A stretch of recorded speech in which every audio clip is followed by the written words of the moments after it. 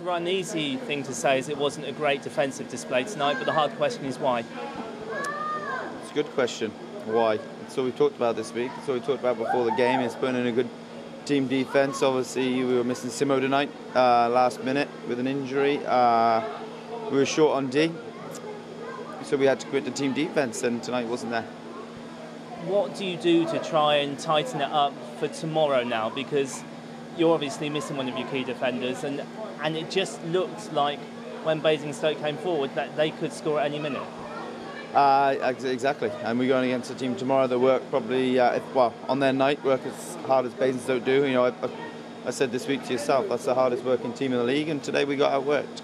Um, tomorrow could be the same thing, but they've got good scorers as well. So um, it's uh, yeah, it's, uh, it's going to be a fun road trip. You know, tonight I'm not even going to say anything to the boys tonight. It's uh, it's their locker room. I think I probably said enough in the first period break.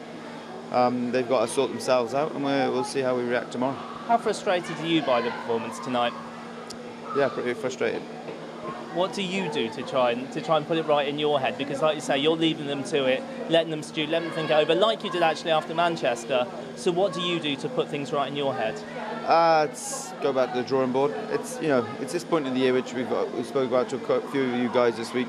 It's that dull period before playoffs. You know, it's it's building up to playoffs. Uh, and, you know, key guys have got to step up. Step up. Um, just weren't good. We weren't. You know, everybody wasn't good enough tonight, and I think the last goal probably summed up our performance of just uh, that ugly bouncing goal off the last. But you know, not not one person came to work tonight. As simple as that. Are there any positives you can take from tonight? No, not a lot. It's, it's hard for you at the moment. Will it be better in the morning? Do you think? Right, we've got we've got a long road trip to Sheffield. We know that it's going to be tiring on the legs just sitting on the coach for that long, but we've got to put on the performance now. Just just just for your own sakes, for, for your own your own.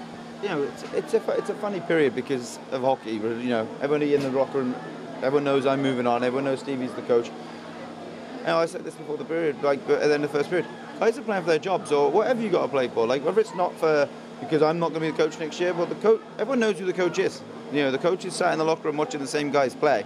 So, you know, it's not that they've got an easy ride for the rest of the year because they haven't. Like guys have got to perform if they want jobs next year. And uh, you know, tonight, last weekend, guys haven't performed, and, and, and tomorrow night is a massive game that you know leading into playoffs. We can, you know, you go to a building like that and have a tough night. You're, you know, you're, you're on a slippery slope, and that can't happen.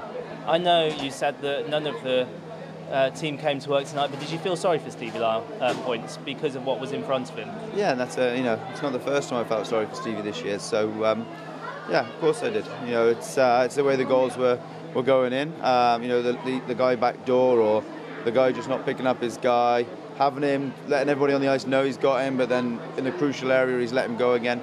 It's, it's little things. It's frustrating, but um, you know, we, you know, myself, I'm, I'm super negative here. I've got to get myself out of this as well and turn this around.